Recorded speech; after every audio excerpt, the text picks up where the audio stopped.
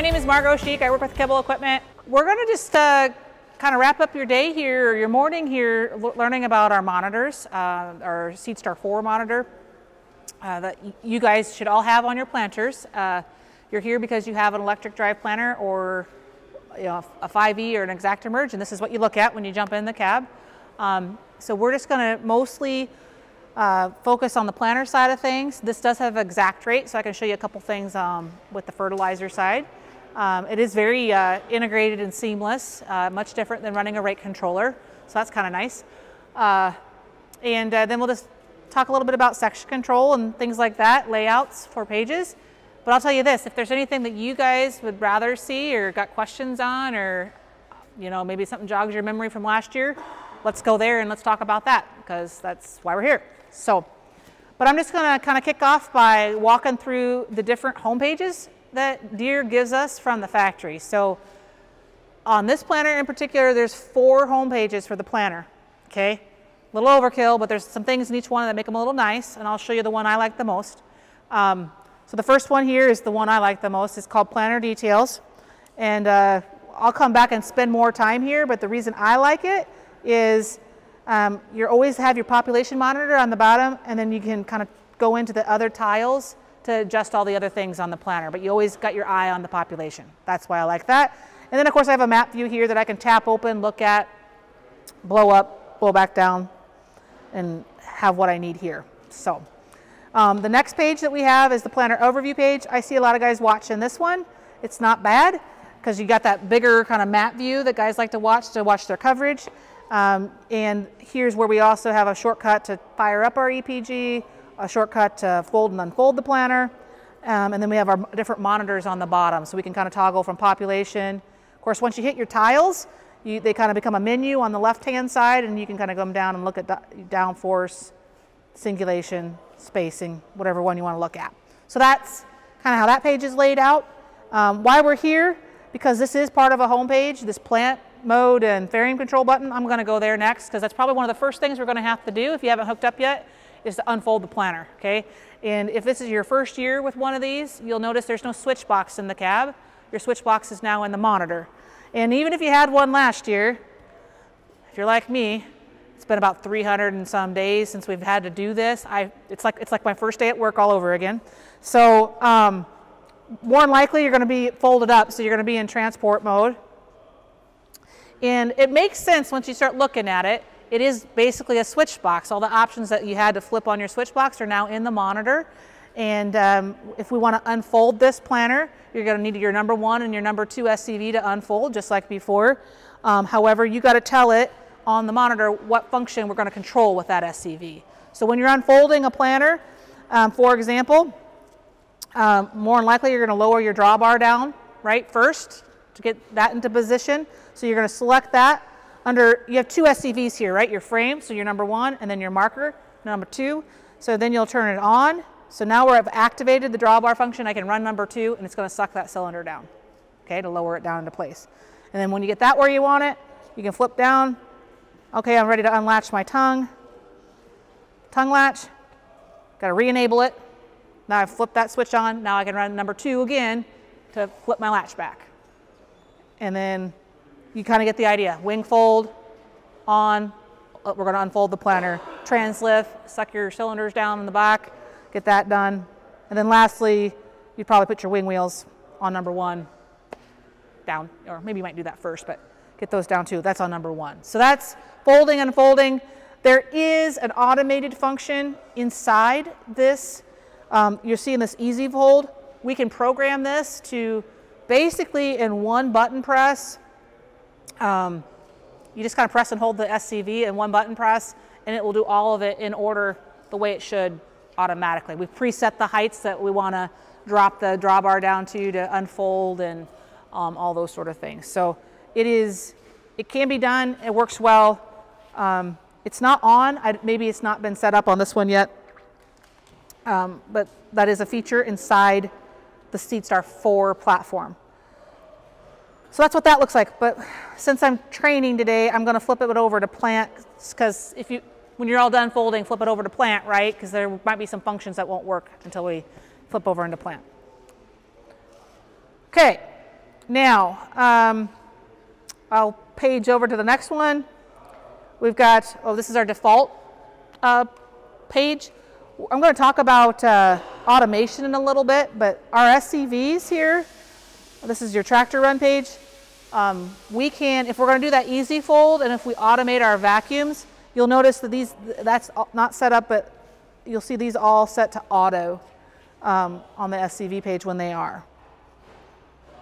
And then this is our fertilizer page, um, kind of half planter, half fertilizer, I would say, uh, view for the exact rate.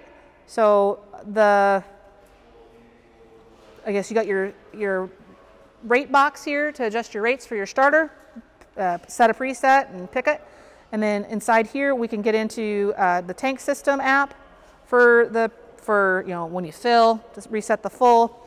Um, and then underneath, we get into some configuration and make sure your, all your sections are on. Underneath, just about anything you can configure. This is how you turn on your pump. It's on your number one. It's with. It's all tied into your number one SCV. There's no extra hydraulics required for exact rate, so that's kind of a nice feature with the John Deere system. And then um, it's all kind of tied in too with the planter raise lower system, so it will engage and kick on when you it's down on its height switch. So um, that's kind of how that works in here on the exact rate side. And this is a map or a guidance homepage. And then lastly, I think this is where we started, planner summary, maybe.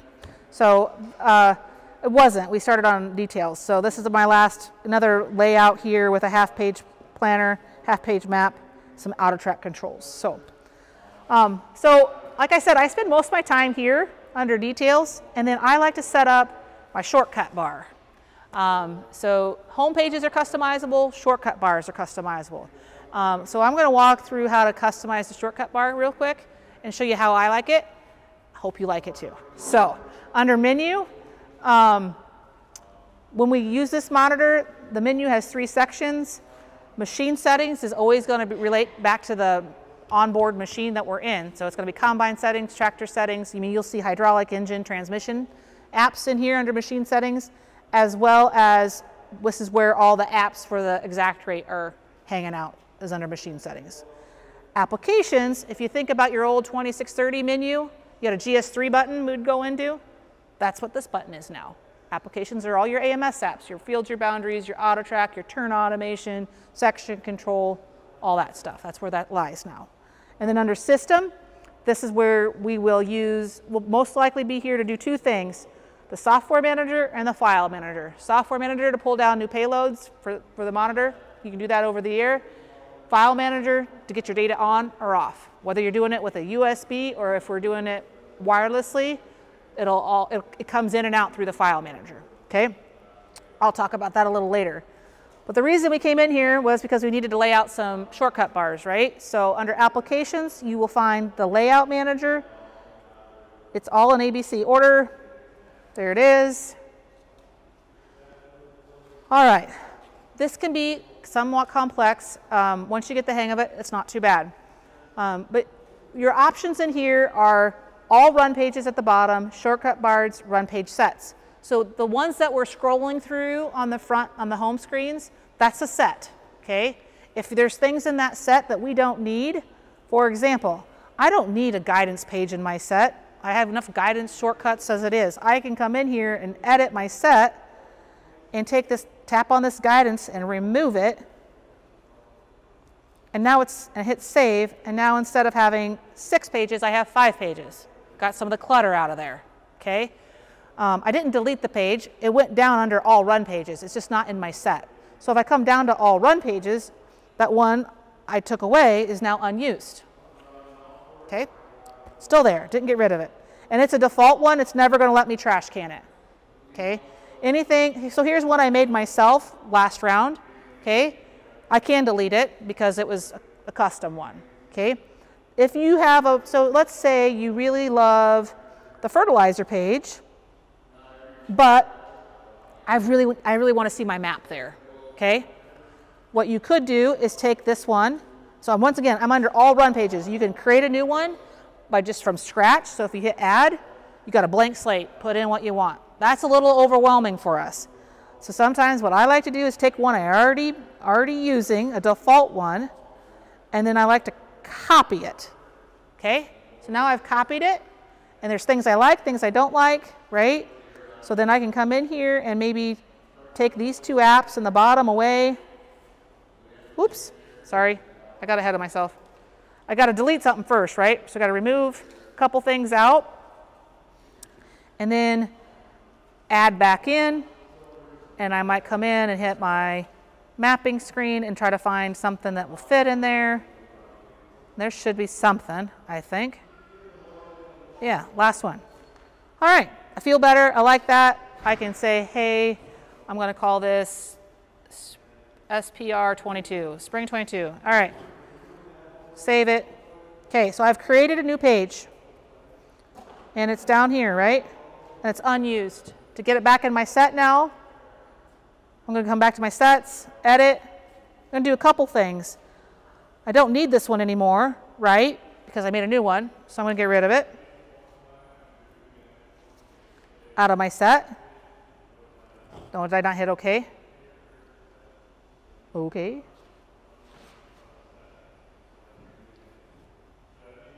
And then, so I have my th three planner pages, right? And now I'm going to include additional run pages. There's my spring that's unused. And I should be good to go. Let's go look at it. So there's my planner details overview.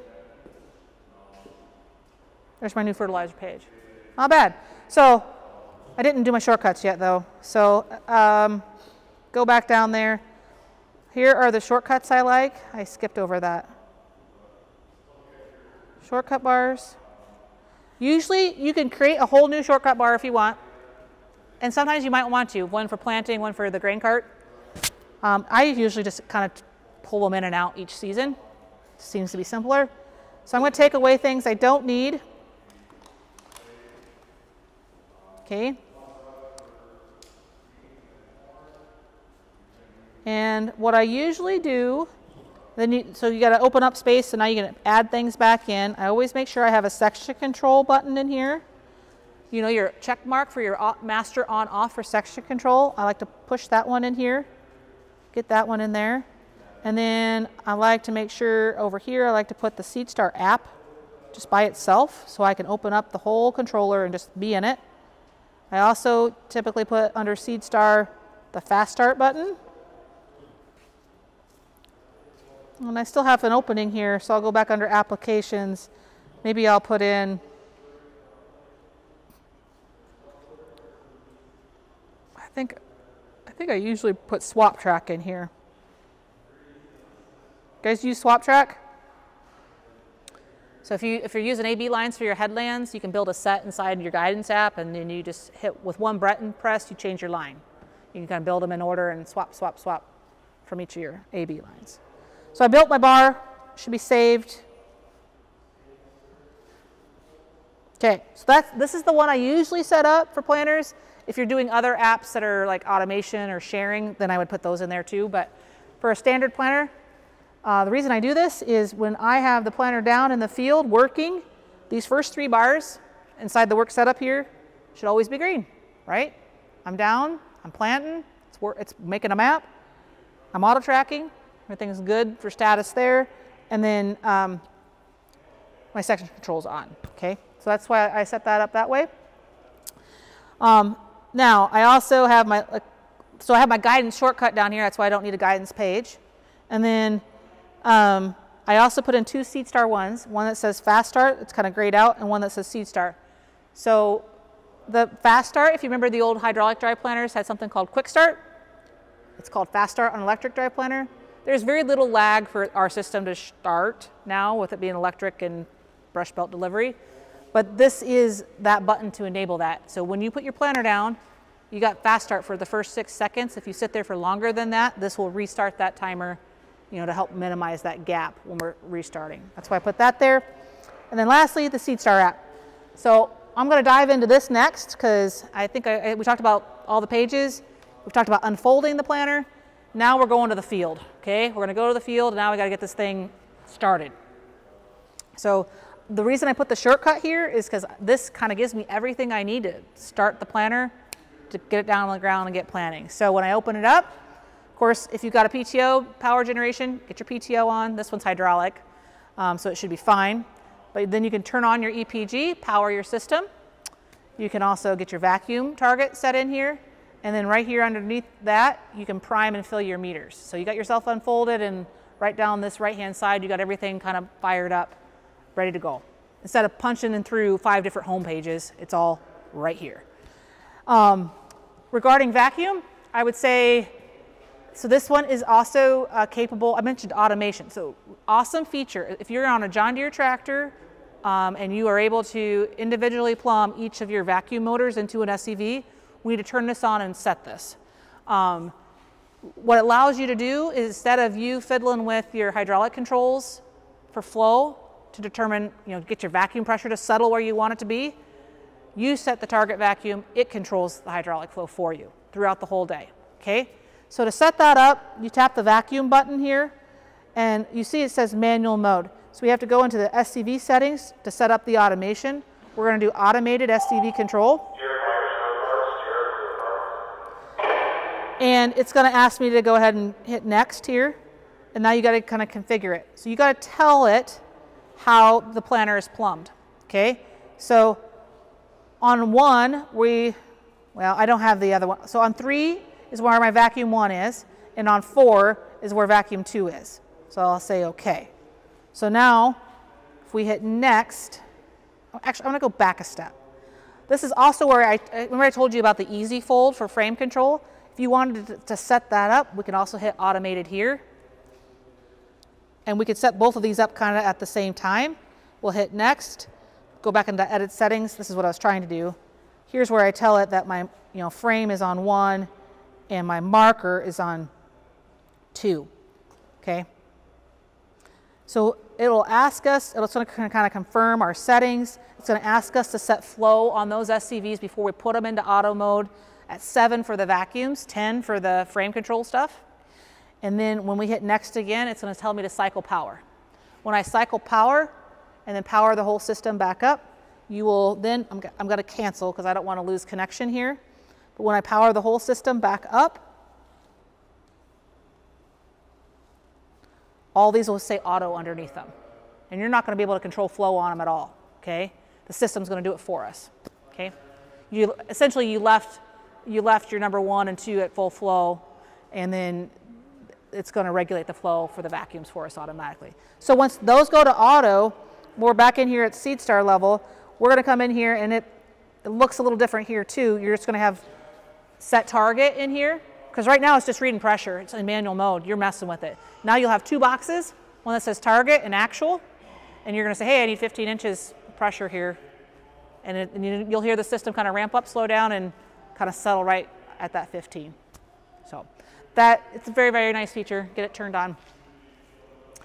So that's the automation piece. Also thinking about getting started in the field, you know, first day, crop type, seed disc, those sort of things. That's right here on this screen as well.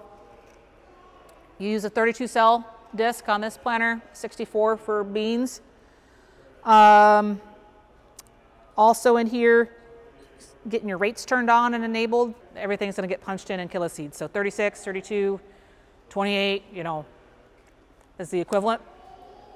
So that looks a little different. To add a rate, if you're doing flat rates, um, make sure, so I'll, I'll punch in a 32 here. If I hit OK, it doesn't show up. You, like uh, every year, I forget this part, right? Uncheck it to enable it then and now it's one of your options. So that's how you get them in there. And these will carry over to the home page later too. But once again, quick way to find it quick and change your rate. I think I'm going to come back to this planner details button now and spend some time here. So I like this page, um, A, because it always has population on the bottom, okay? And we'll get, we'll kind of, and I always just like to have an eye on my population.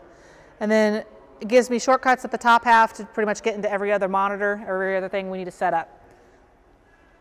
Typically, when I'm out helping a guy get started in the field, there's like a couple things that, we're really concerned about. um, downforce and population, right? Is it planting? And I want to get my downforce set, okay? And we've already been outside the planter and we've probably um, set our depth. We've probably looked at our closing wheel pressure. We've probably made sure everything's um, level on the frame. You might have even came in here already and clicked on your row cleaners since this is active row cleaners um, and set those up. The way these are laid out is uh, the factory gives us three presets and it's light, medium, heavy for your residue. You can click into any of these presets.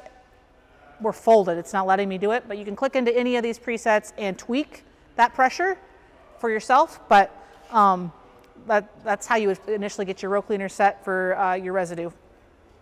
Um, but more likely we're gonna get going in the field, we're gonna get the planter down, we're gonna take off, we're gonna go a little ways and um, I would recommend putting in a target margin to get started for your downforce here. You do that by clicking on this. There's two ways you can go about this. So right now we're in active downforce mode. Our status is active. If I toggle this off, it's going to say set point mode. The difference is this. When you're active, you're, you're setting your target in margin. Margin is the load on the sensors. So every one of those gauge wheels has a load sensor on it. It's measuring load, okay? And you, when you do your field check, set a target for that margin, and it's adjusting the system in active mode, more or less pressure, right, to maintain that target, okay? When we flip it off to set point mode, now we're just operating in pounds. We're just saying, hey, I want 200 pounds of downforce, okay? and it's just gonna it's gonna put 200 pounds of hydraulic pressure on the whole every row unit, and you're just and nothing's changing. Okay, it'll read margin. It'll give you a margin number, and you're gonna have a margin graph, but it's not actively adjusting your pressure in set point mode. So there's goods and bads to that. There's reasons you might want to do do that. Um, when I some some some individuals will start in this mode and get a good feel because they're more comfortable just dealing with down pressure our system, whether you had heavy duty springs, airbags, or hydraulic systems, have always been able to exert zero to 400 pounds of pressure.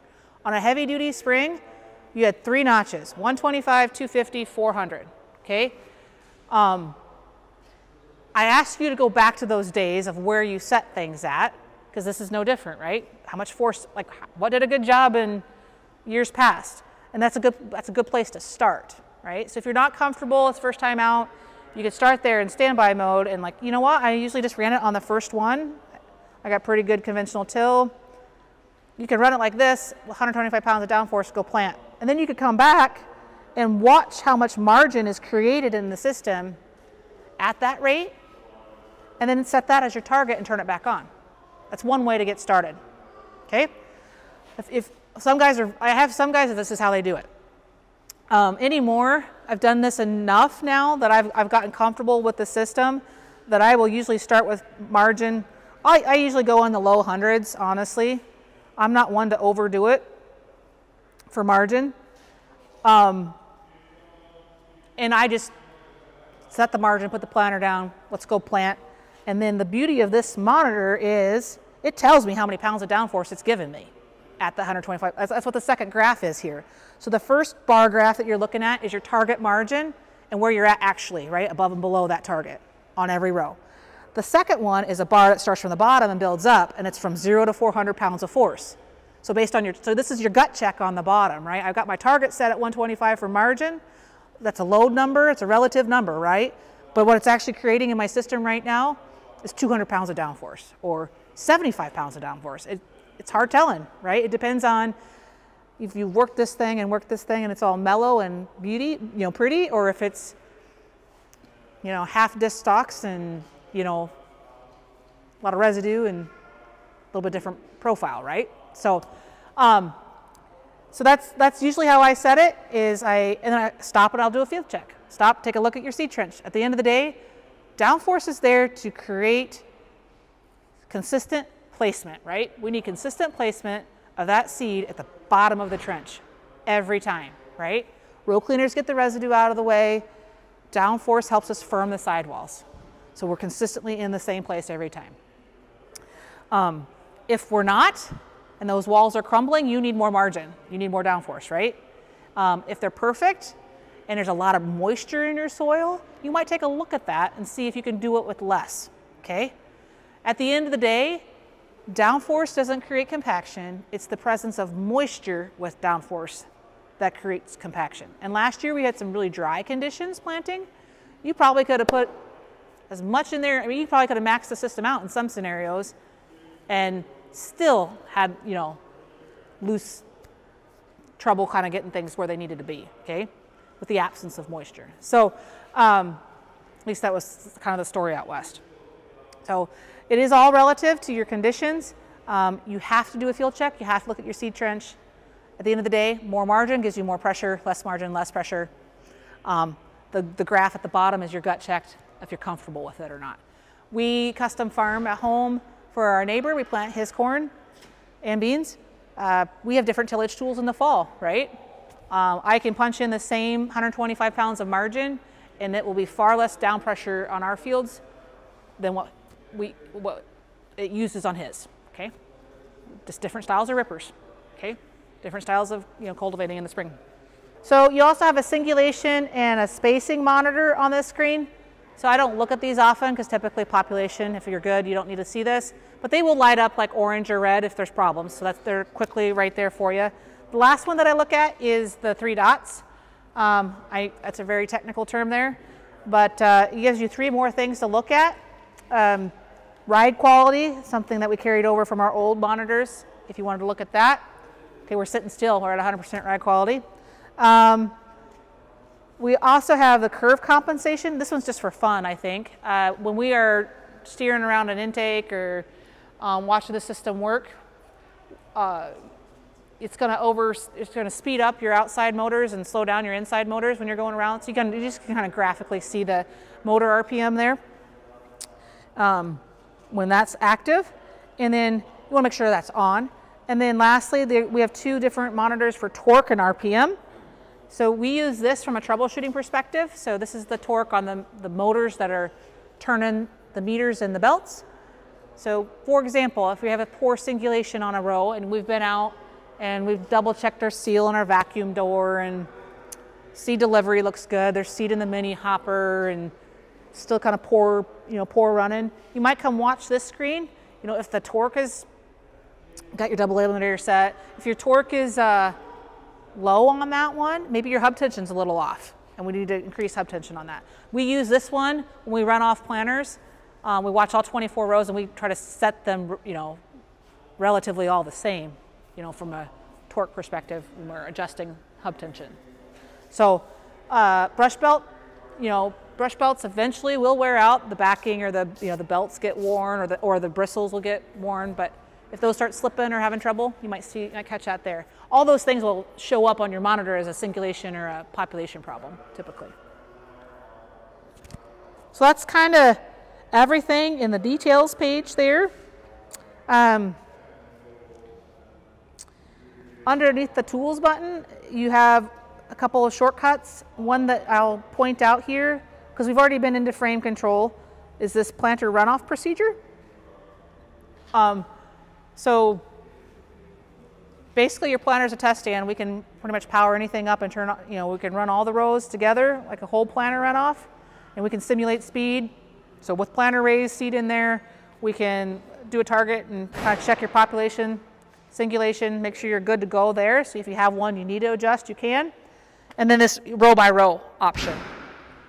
Um, if you have the Equipment Plus app on your phone, um, if your planner is new this year and it's a 5E or EE, it will have a wireless data server on it that allows us to remotely connect with a Wi-Fi connection to our phones and it will let us use this mobile button here and control it back here. So I have to come into this, I have to come into this test and uh, instead you can hit start and you're going to be in the cab and it's going to start, right?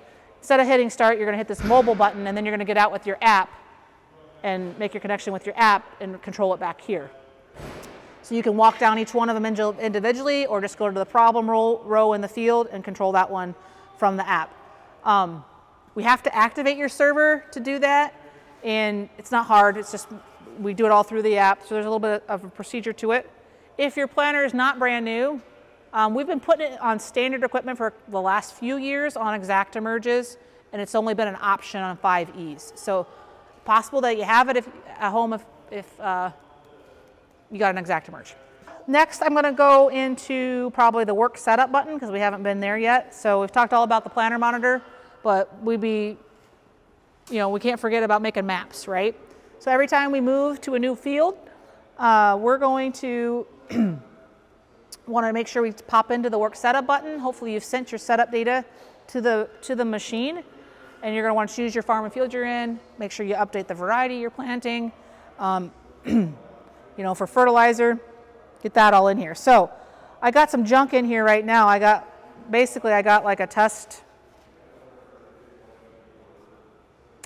I got a test farm in here right now and some varieties and I'm putting on 28% for starter. That doesn't make much sense.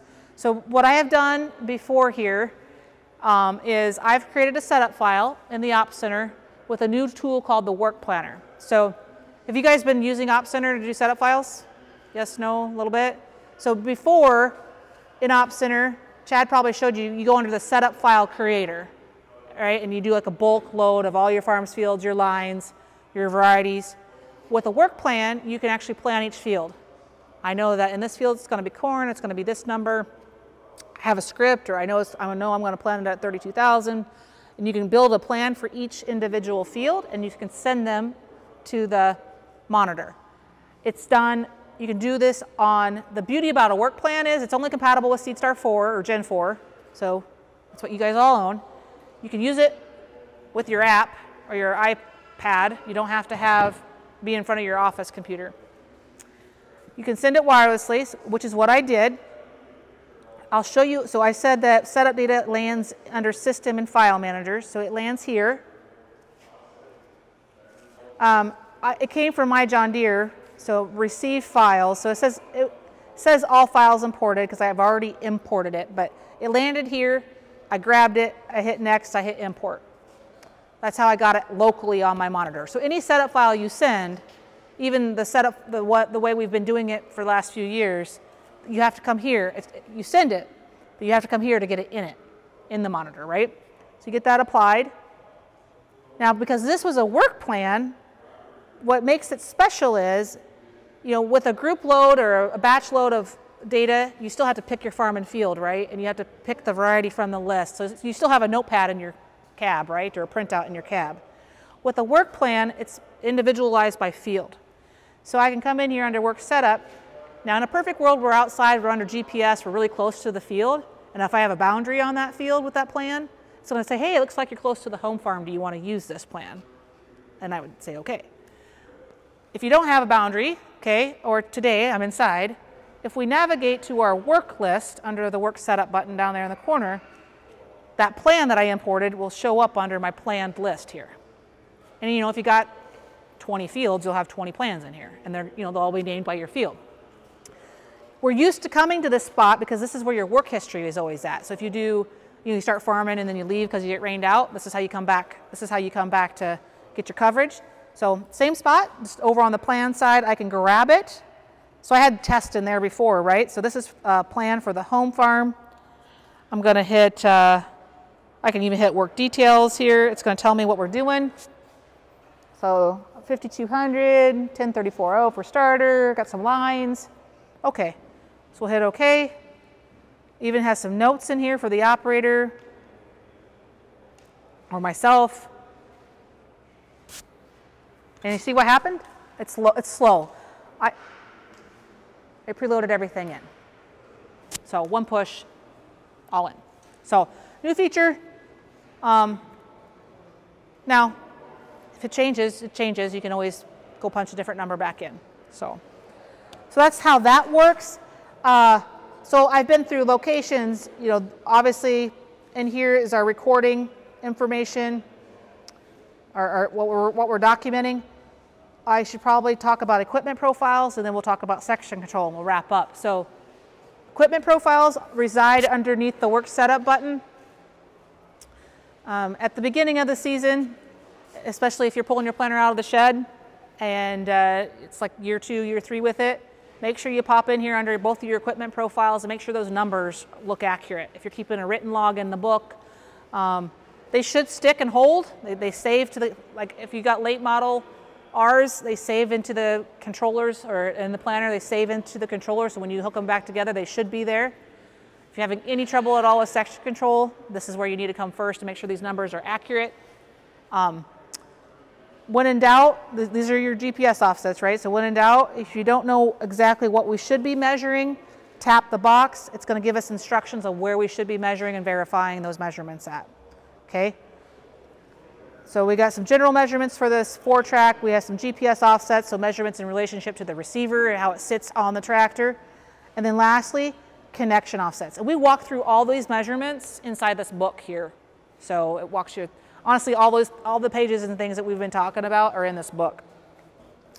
Um, so long story short, make sure under connection offsets, if your planner is going to be connected with the drawbar, that the drawbar number is accurate. If your planners are going to be a three-point planner or two-point planner, um, that, that, that number is accurate as well. And we'll flip over to the equipment pro or the implement profile, the planner profile. So we make your measurement for the drawbar over underneath the tractor, but you got to make sure you select it here under the planner. And I've seen this screw us up before. We got this wrong one checked and it's, it's different numbers. So all of a sudden your section control's off by a foot. And you're like two feet.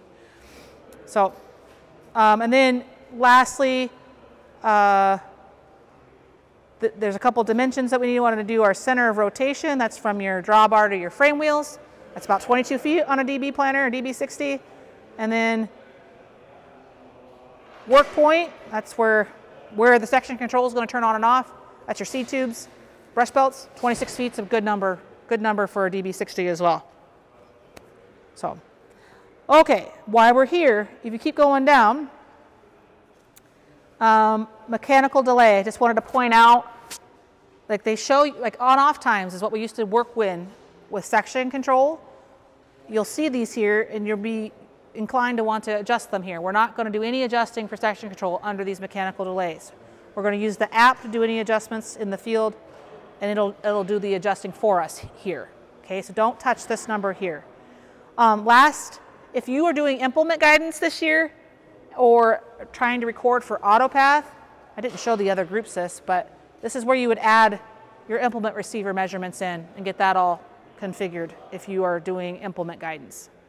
With the auto, you need an automation activation on your monitor to do that. Okay, so we save this all out. And that's, that's your implement profile. So now we're ready to go tune our section control. We can go to the menu and hit applications, go down to the section control app. All right, Oh, I got such a delay. I'm sorry. I'm yakking away and clicking buttons. So, um, feature this year, you can, if you have a bad boundary, okay, Gen 4, or feature with Gen 4s, if you have a bad boundary in your field and it's causing trouble, you can turn them off. They're still there, you just, it's not gonna look at them. Okay, so if something didn't get quite done right, uh, you're farming it a little bit different, you can disregard them inside the section control app. So that's a nice feature. Used to be you just had to turn off your section control and plant through it, right? You just... All right, tuning it. So you, we now have, you got your overlap settings, which we're used to. We have performance tuning. Kind of walks you through what a skip and an overlap is. But second page is a worksheet. So now inside the app, when we tune section control, it actually just gives us, I call it a worksheet. We fill it out. It's going to figure out the time for us okay? So no more of the shot in the dark, do I move this a tenth of a second or a hundredth of a second? You know, how many feet is that when I'm going eight miles an hour? I don't know. So here, entering planted area, this is your off time, right? You're going into the headland, you're turning off the planter. You just need to let it know what, what you're seeing in the field when you're digging. Is it a skip? Is it an overlap? How big? How fast were you driving? Same way, coming out of the planted area, so we're now we're turning on the planter, we're putting the planter back down, going back into the field. Did I have a skip? Did I have an overlap? How big? How fast was I going? It'll do the math for us. When you hit next, it's going to pop up a box that says, hey, I took your mechanical delay for your on from 0.12 to 0.16. Or I took your off to whatever. I typically, I mean, usually I'm only doing one at a time because I'll get myself confused and put stuff in the wrong box. Um, but when I'm tuning, I typically, when that box pops up, I usually snap a picture of it because if for some reason I get backwards that day and I go the wrong direction, I know where we were. So that's my tip of the day. You can always go back to where you were.